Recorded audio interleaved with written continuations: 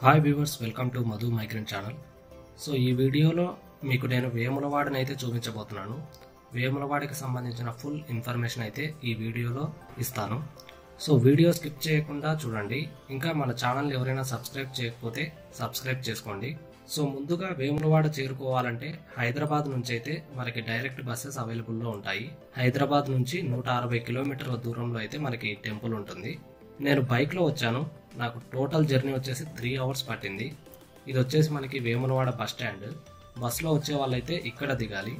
ఇక్కడ నుంచి మనకి వన్ కిలోమీటర్ డిస్టెన్స్లోనే గుడి ఉంటుందన్నమాట. సో ఓపిక ఉన్న వాళ్ళైతే గుడికి నడిచి వచ్చేయండి. లేదంటే మనకి బస్ స్టాండ్ బయట ఆటోస్ అయితే అవైలబుల్లో ఉంటాయి.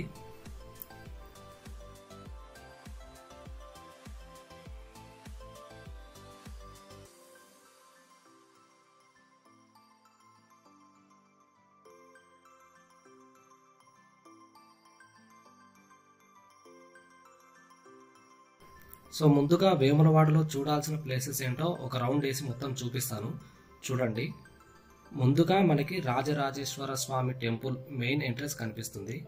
అక్కడి నుంచి లెఫ్ట్కి వెళ్తే నెక్స్ట్ మనకి ఇక్కడ బోర్డ్ ఉంటుంది. బద్దీపోచమ్మ ఆలయం అండ్ అలాగే భీమేశ్వర ఆలయానికి దారి అని. సో ఆ రెండు బోర్డులు అయితే మనకి ఇక్కడ కనిపిస్తాయి.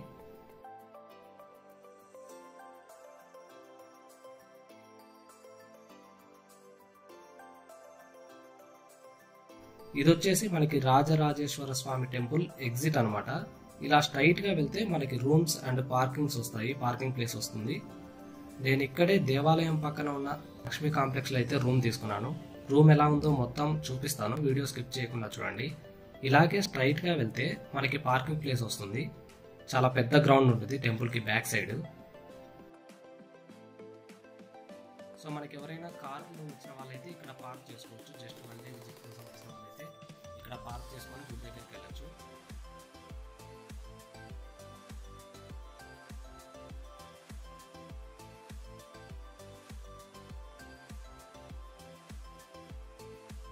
అండ్ నెక్స్ట్ మనకి ఇలా వెళ్తే దేవస్థానం వారి రూమ్స్ అయితే కనిపిస్తాయి. సో ఈ ఆలయానికి వచ్చిన భక్తులు ఏంటంటే ఇక్కడ ఒక రోజు నిద్ర చేస్తే మంచిదని నమ్ముతారనమాట సో అందుకే మనకి నెంబర్ ఆఫ్ రూమ్స్ అయితే అవైలబుల్లో ఉంటాయి. ఈ దేవస్థానం గదుల పక్కనే మనకి అన్నదాన సత్రం ఉంటుంది. ఫుడ్ ఏం పెడతారో వీడియోలో ముందుకెళ్ళాక చూద్దాము. అన్నదాన సత్రం నుంచి లెఫ్ట్ తీసుకుంటే మనకి భీమేశ్వర ఆలయం వస్తుంది. అక్కడ నుంచి నేరుగా వెళ్తే నగరేశ్వర ఆలయం అలాగే బద్దిపోచమ్మ గుడి. ఈ రెండు గుళ్ళు ఎదురెదురుగా ఉంటాయి. ఇక్కడ బద్దిపోచమ్మకి బోనాలు సమర్పించి అలాగే కోళ్ళని మేకల్ని బలి ఇచ్చి వారి మొక్కులు తీర్చుకుంటూ ఉంటారు. సో బోనాలు ఇక్కడే ఉండి ఇవ్వడానికి తగిన షాపులు కూడా ఇక్కడ ఆలయానికి పక్కనే మనకు కనిపిస్తాయి. అలా నగరేశ్వర ఆలయం నుంచి నేరుగా వెళ్తే మనం మళ్ళీ ప్రధాన దేవాలయం అయినటువంటి రాజరాజేశ్వర స్వామి గుడికి అయితే చేరుకుంటాము. మనకి సందులో కూడా ఎన్నో కాంప్లెక్స్లు రూమ్లు అన్నీ దొరుకుతాయి.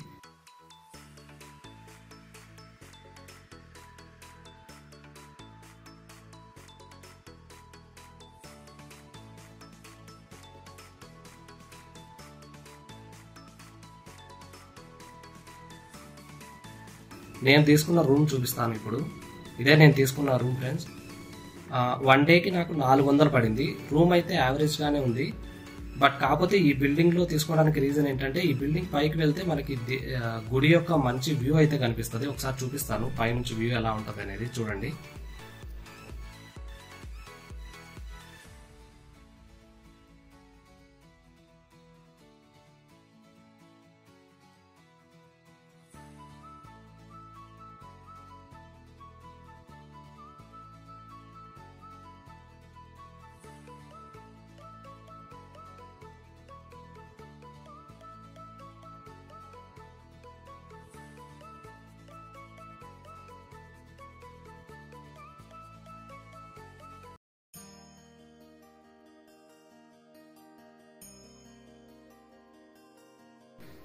రూమ్లో ఫ్రెష్ అయిన తర్వాత ముందుగా రాజరాజేశ్వర స్వామి గుడికి అయితే బయలుదేరాను. గుడికి స్టార్టింగ్లోనే మనకు కాళ్ళు కడుక్కోవడానికి వీలుగా ఈ పైప్లో నుంచి వాటర్ ఎప్పుడూ ప్రవహిస్తూ ఉండేలా అమర్చారు. అలాగే గుడి బయట మనకి కోనేరు కళ్యాణకట్ట మరియు బెల్లం దుకాణాలు ఇలా చాలా ఉంటాయి. ఇక్కడ సంతాన భాగ్యం కలిగిన కొంతమంది పిల్లల బరువు ప్రకారం బెల్లాన్ని కొని స్వామివారికి మొక్కుగా చెల్లిస్తారు. అందుకే మనకి బెల్లం దుకాణాలు ఇక్కడ ఎక్కువగా కనిపిస్తాయి. ఆ తర్వాత గుడికి పక్కనే ఉన్న కోనేటిని ధర్మగుండం అని పిలుస్తారు. ఈ కోనేటిలో స్నానం చేస్తే సకల పాపాలు పోతాయని ఇక్కడ నమ్ముతారు. కరోనా కారణంగా రెండు సంవత్సరాల నుంచి ఈ కోనేటిని అయితే మూసివేశారు. రేపు తెరుస్తారంట. నేను ఒక రోజు లేట్గా రావాల్సింది. సో అప్పుడైతే చూపించేవాడిని. మనకి ఇప్పటి నుంచి వచ్చే భక్తులకైతే ఈ ధర్మగుండం మనకి అందుబాటులో ఉంటుంది. సో గుడి లోపలికి వెళ్దాం. గుడి లోపల ఎలా ఉంటుందో చూపిస్తాను. గుడి లోపలికి రాగానే మనకి అందరూ కోడె దూడల్ని గుడి చుట్టూ తిప్పుతూ కనిపిస్తారు. ఇతర ఏ శివాలయాల్లో లేని ప్రత్యేకతలు ఈ గుడిలో మనం చూడొచ్చు. అవేంటో ఇప్పుడు చూద్దాం. ఇక్కడికి వచ్చిన భక్తులు బయట ఉన్న ధర్మగుండంలో స్నానం చేసి గుడి చుట్టూ ఒక కోడెదూడని పట్టుకొని మూడు సార్లు ప్రదక్షిణ చేసి స్వామికి ఎదురుగా దానిని కట్టేసి ఇక్కడున్న గండాదీపాన్ని వెలిగించి స్వామివారిని దర్శించుకుంటే సకల పాపాలు పోయి వారి కోరికలు నెరవేరుతాయని ఇక్కడ నమ్ముతారు. సో ఈ కోడెదూడని ఇవ్వడానికి టూ హండ్రెడ్ రూపీస్ అయితే తీసుకుంటారు. అలాగే గండాదీపం టికెట్ వచ్చేసి ఐదు రూపాయలు ఉంటుంది. ఇక ఈ ఆలయ చరిత్ర విషయానికి వస్తే ఈ ఆలయం పశ్చిమ చాళుక్యుల కాలం నాటిదని పురావస్తు శాస్త్రవేత్తల ద్వారా కనుగొన్నారు. పూర్వం అర్జునుడి మునిమనవడైన నరేంద్రుడు ఒక ఋషిని చంపడం వల్ల బ్రాహ్మణ హత్యా పాతకం అతనికి చుట్టుకుంది. ఆ శాపం నుండి విముక్తి పొందడం కోసం దేశాటన చేస్తూ ఈ ప్రదేశానికి వచ్చాడట. ఇక్కడ ఉన్న కోనేటిలో స్నానం చేస్తుండగా అతనికి ఒక శివలింగం దొరికిందట. వెంటనే ఆ శివలింగాన్ని ప్రతిష్ఠించి పూజించిన నరేంద్రునికి శివుడు ప్రత్యక్షమై శాప విమోచన కలిగించాడట. ఆ శివలింగమే ఇప్పుడు మూల విరాట్గా ఇక్కడ పూజలు అందుకుంటుంది. మూల విరాట్కి కుడి పక్కన శ్రీ రాజరాజేశ్వరి దేవి ఉంటుంది. అలాగే ఎడమ ప్రక్కన లక్ష్మీ సమేత గణపతి పూజలు అందుకుంటున్నారు. ఈ ప్రాంతాన్ని పాలించిన మొదటి నరసింహుడికి రాజాదిత్య అనే బిరుదు ఉండడం చేత ఈ దేవాలయానికి రాజరాజేశ్వర స్వామి అనే పేరు వచ్చిందని ఇక్కడి స్థల పురాణం. ప్రధాన ఆలయం దర్శించుకున్న తర్వాత భీమేశ్వర ఆలయానికి అయితే నేను వెళ్ళాను. ఎంతో పురాతన ఆలయం అయినందున మనకి లోపలికి వెళ్ళగానే ఆ వాతావరణం అదంతా మనసుకు ఎంతో ఆహ్లాదకరంగా అనిపించింది. ఈ ఆలయం లోపల శ్రీ గాయత్రి మాత ఆలయం ఆంజనేయ స్వామి ఆలయం అలాగే నవగ్రహ మండపం అయితే మనకు దర్శనమిస్తాయి. అలాగే మూడు అడుగుల పొడవుతో లింగ రూపంలో భీమేశ్వరుడు ప్రధాన పూజలు అందుకుంటాడు. ఇక జానపద కథల ప్రకారం ఈ ఆలయ చరిత్ర విషయానికి వస్తే రాజరాజేశ్వర స్వామి ఎంతో ఇష్టంగా కట్టుకున్న ఆలయాన్ని చూసి రమ్మని తమ్ముడు భీమన్నను పంపగా ఆలయ కట్టడానికి ముగ్ధుడై ఇక్కడే ఉండిపోతానని భీష్మించి కూర్చున్నాడట. ఈ విషయం తెలిసిన రాజన్న ఆగ్రహించి పెద్ద ఆలయంలో ఉన్న భీమన్నను దర్శించుకోవాలి అంటే ముందుగా నన్ను దర్శించుకోవాలి అని శపించాడని. అందుకే భక్తులు ముందుగా రాజరాజేశ్వరి స్వామిని దర్శించుకున్న తర్వాత ఇక్కడ ఈ ఆలయానికి వచ్చి భీమేశ్వరుణ్ణి దర్శించుకుంటారట. మనకి ఈ ఆలయంలో శని పూజ చేయించుకుంటారు చాలా మంది ఈ ఆలయం దర్శించుకున్న తర్వాత నగరేశ్వర ఆలయం అలాగే బద్దిపోచమ్మ దేవాలయాలని దర్శనం చేసుకున్నాను. ఈ ఆలయాలన్నీ దర్శనం చేసుకునేసరికి మనకి మధ్యాహ్నం అయిపోతుంది. సో నెక్స్ట్ నేను భీమేశ్వర ఆలయం పక్కన ఉన్న అన్నదాన సత్రం దగ్గరికి అయితే వెళ్ళాను. ఇక్కడికి మనం మధ్యాహ్నం ఒంటి గంట లోపల చేరుకుంటే మాత్రమే మనకి టికెట్లు అయితే లభిస్తాయి. సో మీరు భీమేశ్వర ఆలయం దగ్గరికి వెళ్ళినప్పుడు ఒకసారి ఇక్కడ ఎంక్వైరీ చేసుకోండి టికెట్స్ కోసం. ఈ అన్నదాన సత్రంలో మనకి వీళ్ళు ఒక కర్రీ ఐటమ్ అండ్ పప్పు అలాగే వీటితో పాటుగా సాంబార్ మరియు మజ్జిగ కూడా ఇస్తారు. ఫ్రెండ్స్ ఇప్పుడైతే మనకి టైం వచ్చేసి ఫోర్ థర్టీ అయింది ఈవినింగ్ అనమాట అన్నం తిని కొద్దిగా కాసేపు రెస్ట్ తీసుకున్న తర్వాత నాంపల్లి లక్ష్మీ నరసింహస్వామి గుట్ట అని అయితే ఉంటుంది. సో ఆటోలో అడిగితే నాకైతే నా ఐదు వందలు చెప్పారు. సో నా దగ్గర బైక్ ఉంది కాబట్టి నేను అయితే బైక్లో వచ్చాను. సో బస్కి వచ్చే వాళ్ళు ఆటో కొంచెం హై రేట్ అనే చెప్పొచ్చు ఇదైతే. సో దా ఆలోచించుకోండి కొంచెం. అండ్ ఇక్కడ వచ్చేసి మనకి ఎంట్రీ టికెట్ వచ్చేసి ట్వంటీ రూపీస్ తీసుకున్నాడు బైక్కి. అండ్ ఇక్కడైతే వ్యూస్ అయితే చూడడానికి చాలా బాగుంటుంది. సో ఈవినింగే ప్రిఫర్ చేయండి. ఎందుకంటే సన్సెట్ అనేది చాలా బాగుంటుంది. సో సన్సెట్ ఇష్టపడే వాళ్ళైతే ఈ వ్యూని మంచిగా ఎంజాయ్ చేయొచ్చు. అండ్ వేములవాడ టౌన్ మొత్తం మనకి కొంచెం చిన్న చిన్నగా మంచిగా కనిపిస్తుంది అనమాట ఇక్కడ నుంచి అయితే. చాలా చిన్నగా కనిపిస్తుంది. ఫొటోస్ దిగడానికి అంత చాలా బాగుంటుంది ఈ ప్లేస్ సో ఈ ప్లేస్ అయితే మిస్ అవ్వదు ఖచ్చితంగా వేములవాడ వస్తే మటుకు ఈ ప్లేస్ ఖచ్చితంగా ఒకసారి విజిట్ చేసుకొని వెళ్ళండి. ఓకే లేట్ చేయకుండా మనమైతే గుళ్ళోకి అయితే వెళ్ళిపోదాము. చూపిస్తాను మొత్తం ప్లేస్ అయితే ఎలా ఉంది అనేది మొత్తం వ్యూ అయితే ఒకసారి చూపిస్తాను మీకు.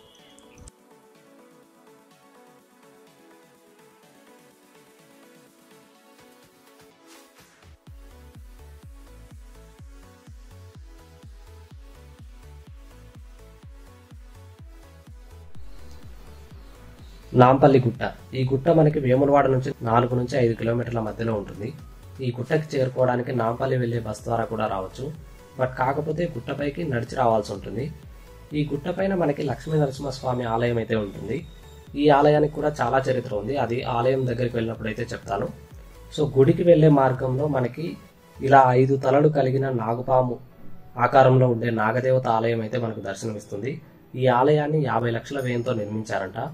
నాంపల్లి గుట్టకి ఇది ఒక మెయిన్ టూరిస్ట్ అట్రాక్షన్ అని అయితే చెప్పొచ్చు. ఈ పాము లోపలికి వెళ్ళడానికి ఐదు రూపాయల టికెట్ అయితే ఉంటుంది. లోపలికి ఎంటర్ అవ్వంగానే మనకి ఇలా భక్త ప్రహ్లాదుని జీవిత చరిత్ర శిల్పాకారంలో ఉంటుంది. అలా చివరిగా వెళ్తే మనకి ఉగ్ర రూపంలో ఉన్న లక్ష్మీ నరసింహస్వామి అయితే దర్శనమిస్తాడు. సో వేములవాడ వస్తే మటుకు ఈ ప్లేస్ అస్సలు మిస్ అవ్వద్దు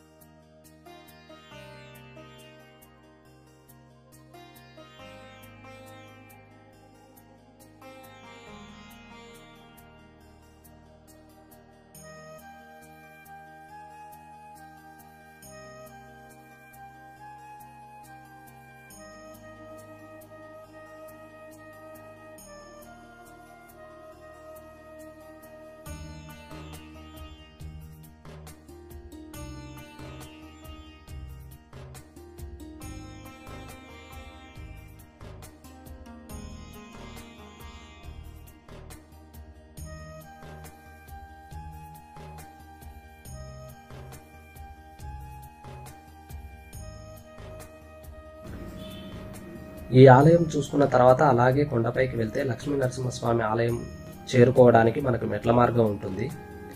వెహికల్స్ ఇక్కడ పార్క్ చేసి పైకి మెట్ల ద్వారా వెళ్ళాలి. ఈ ప్లేస్లో కోతులు అనేవి ఎక్కువగా ఉంటాయి. సో మీ వస్తువులు ఏవైనా ఉంటే అవి జాగ్రత్తగా పెట్టుకొని పైకి వెళ్ళండి.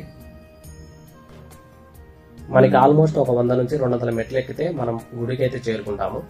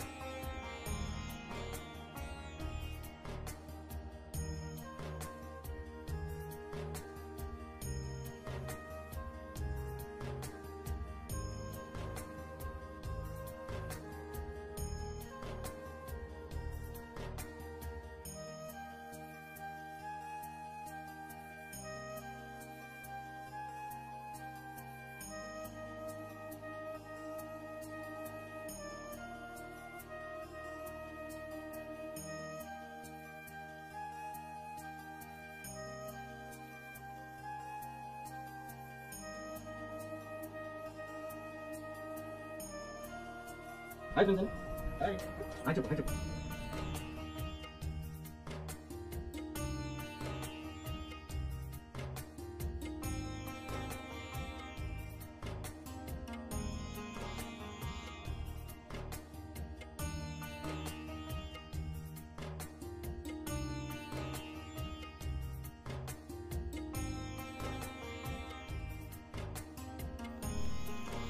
ఇక ఈ ఆలయ చరిత్ర విషయానికి వస్తే ఈ ఆలయం చోళుల కాలం నాటిదని ఇక్కడ శిలాశాసనాల కథనం. పూర్వం నవనాథ సిద్ధులు అనగా తొమ్మిది మంది మహర్షులు ఈ గుట్ట మీద తపస్సు చేసి సిద్ధి పొందారట.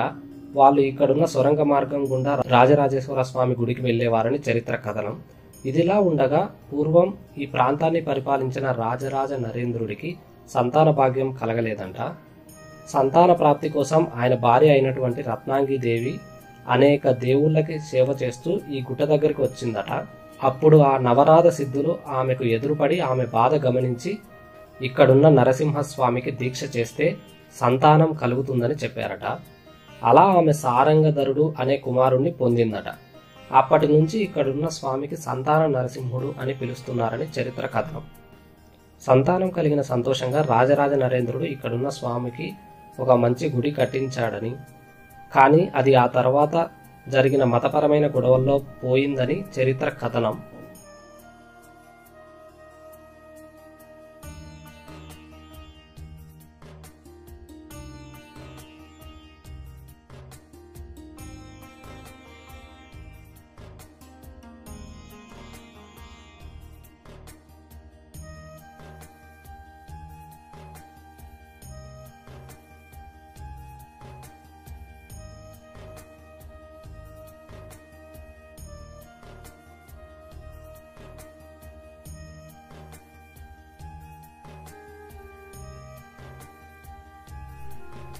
సో అది ఫ్రెండ్స్ నాంపల్లి గుట్ట గురించి అయితే. గుట్ట పైకి ఈవినింగ్ సెవెన్ తర్వాత ఎవరిని అలౌ చేయరు.